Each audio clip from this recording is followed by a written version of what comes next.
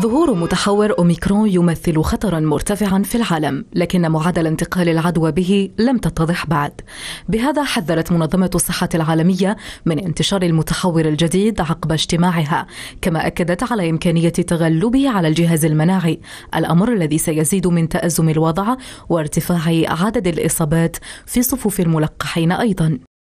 الوضع الوبائي الذي حذر منه عديد المختصين الذين أجمعوا على أن المتحور مختلف بدرجة كبيرة حيث يحتوي على عدد مرتفع من النسخ بعضها مقلق. الوضع الوبائي الحالي استدعى اجتماعا عاجلا لوزراء الصحة لمناقشة كيفية التعامل مع المتحور الجديد الذي ظهر أول مرة في جنوب إفريقيا الأسبوع الفارط وتغلغل إلى القارة الأوروبية حيث رصدت إصابات في كل من بريطانيا، ألمانيا، إيطاليا وفرنسا.